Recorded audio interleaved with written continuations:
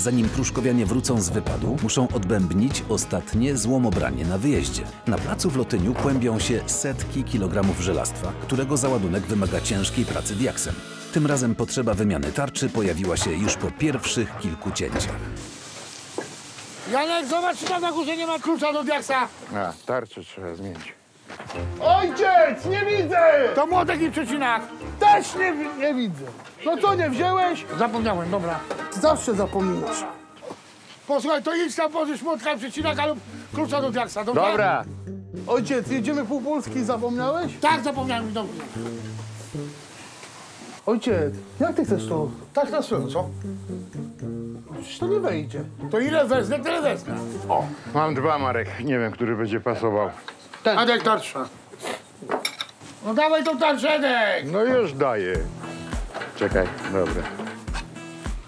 Panowie, ruszajcie się, bo jak lunie, to nie będziemy ciąć. No to tnij, przecież tniesz. Słuszna uwaga. Żeby Januszek i Edek mieli co dźwigać, Marek musi postępować ze swoją robotą. Póki co wszystko idzie zgodnie z planem, a dźwigania nie unika nawet sam król złomiarzy. Dobra. Dobra. Janek, chodź. Co bierzemy? To. W całości? No dawaj. Czy... Ej, op. Czekaj.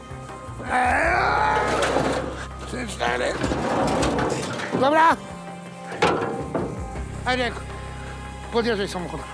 Tato, jak chcesz to wsadzić? Syneczku, sposobem. Dawaj! Dawaj! Dawaj! Dawaj, dawaj! Dobra! Dobra, chodź, Edek. Idę. Do góry podnieście. Trzy, cztery. No! Uwaga, stój! Odejdź, tato, odejdź. Odejdź. To Idź stąd, przytrzymaj to Idź ja- stąd, idź stąd. Idź tam do Ponetka. Ej! Już! Czekaj. Dawaj, jeszcze! Jeszcze? 5 centymetrów. Dawaj, dawaj. Ej, op. Dobra. Dobra. Jesteś. O,